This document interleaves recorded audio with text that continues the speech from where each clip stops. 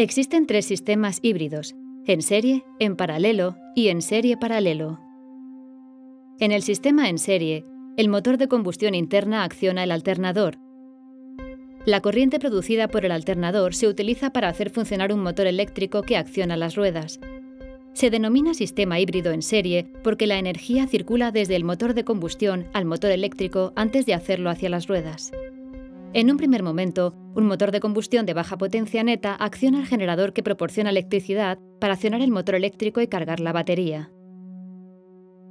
Un sistema híbrido en paralelo emplea un motor de combustión interna eficiente para accionar la transmisión al modo convencional, pero también acciona un motor de inercia montado en el motor generador que carga una batería de almacenamiento cuando el motor de combustión está en funcionamiento se denomina sistema híbrido en paralelo porque la energía circula hacia las ruedas en paralelo.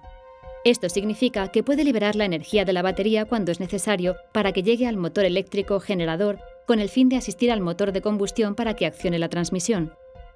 Aunque tiene una estructura simple, la disposición híbrida en paralelo no puede impulsar las ruedas desde el motor eléctrico mientras carga la batería, debido al hecho de que el sistema solo tiene un motor eléctrico. El sistema híbrido en serie paralelo es más sofisticado y emplea tanto un motor de combustión como uno eléctrico para accionar la transmisión.